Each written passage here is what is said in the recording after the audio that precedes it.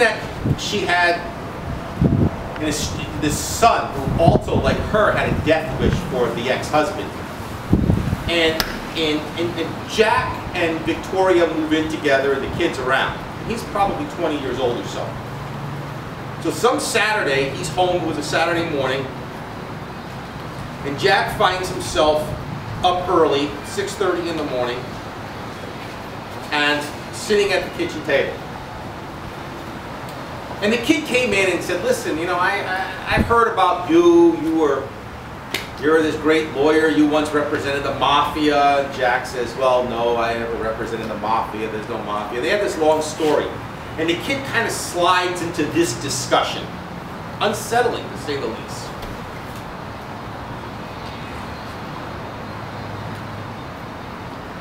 But you know murderers, don't you? The kid asked. Yes, I mean, no.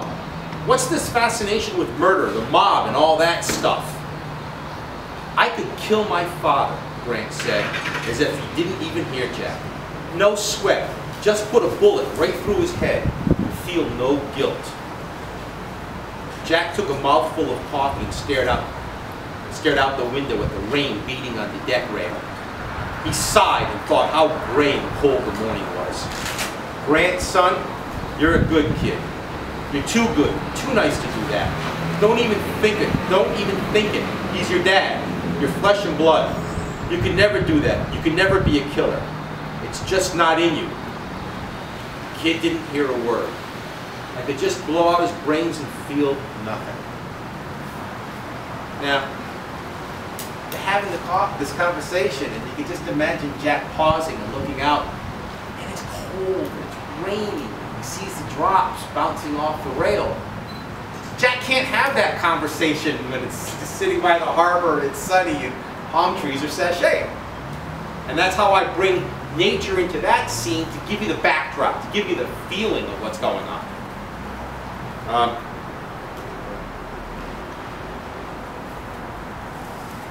well, J things happen and Jack has to take leave of Victoria.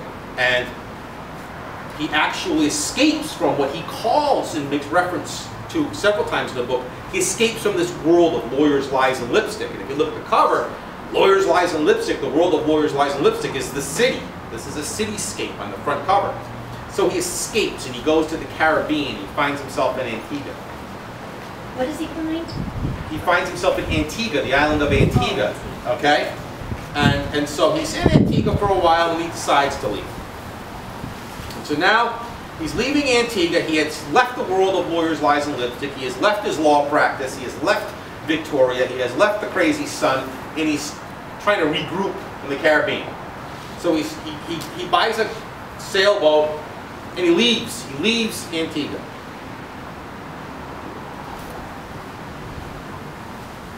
As the smoke, smoke from Montserrat's volcano rose above the horizon to port, he thought about time. How much time would it take him to sail to the States? Einstein said time was relevant, and of course he was right. It would take as much time as the wind and currents would allow. Be it a month or several, it made no difference, as he was in no hurry to do anything or get anywhere. As the autopilot steered the vessel beyond sight of the smoke, he realized that he had lost the qualitative aspect of time. Stop and smell the roses, how many times had people told Jack that? Jack spoke to the ocean, or perhaps to God. I now understand. It's all about the quality of time, isn't it? The time you give us isn't measured in minutes, hours, days, or years. The serration of the serration of the waves was like a chorus echoing and affirming his every word. It's about what we do with our time, how we enjoy and appreciate this world. It's about enjoying the journey and loving the people we meet along the way. It's about feeling the power of the ocean's currents and energy from the sun.